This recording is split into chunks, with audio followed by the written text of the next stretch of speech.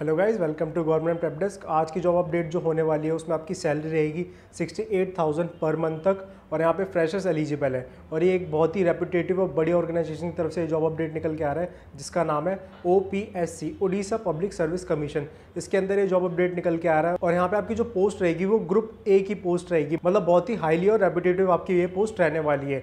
Video को and तक देखना डिस्कस करेंगे पूरा नोटिफिकेशन क्या इसका एग्ज़ाम पैटर्न है क्या पोस्ट है क्या आपको सैलरी मिलेगी सारी चीज़ें एक एक डिटेल में डिस्कस करेंगे तो वीडियो को लास्ट तक ज़रूर देखना और इसी के साथ आज की इस वीडियो को शुरू करते हैं।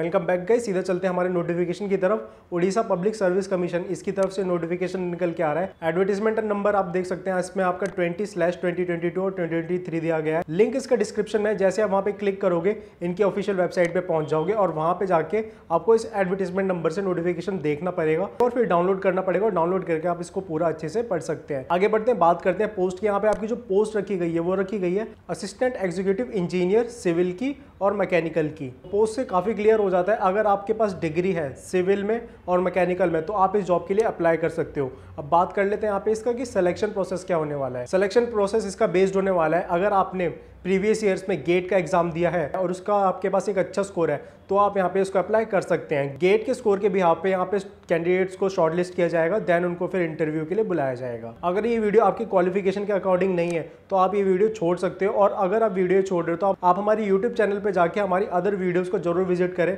हो सकता है वो वीडियोज़ आपके क्वालिफिकेशन के अकॉर्डिंग हो। आगे बढ़ते हैं, बात करते हैं यहाँ पे फ़ीस की। यहाँ पे आपसे कोई फ़ीस नहीं ली जा रही है। सभी कैंडिडेट्स के लिए फॉर्म फ्री है। बाकी आप नोटिफिकेशन में नीचे जाएँगे तो आपको हाउ टू अप्लाई का सेक्शन दिखेगा। वहाँ पे एक एक पॉइंट पे डिस्कस किया गया है कि फॉर्म को अप्लाई कैसे करना है। अगर आपको फॉर्म अप्लाई का प्रोसेस चाहिए तो आप हमें कमेंट करके ज़रूर बताएँ। हम अप्लाई प्रोसेस के ऊपर एक पूरा वीडियो लेके आ जाएँगे। बात करते हैं इसके इंपॉर्टेंट डेट्स की। तो इसके जो फॉर्म स्टार्ट होने वाले हैं उनतीस मार्च से होने वाले हैं। मतलब आपके पास अभी काफ़ी टाइम है, पूरा मंथ है इस फॉर्म को अप्लाई करने के लिए, क्योंकि इसकी जो लास्ट डेट रखी गई है अट्ठाईस अप्रैल रखी गई है। तो इसीलिए आपके पास काफ़ी टाइम होगा इस फॉर्म को अप्लाई करने के लिए।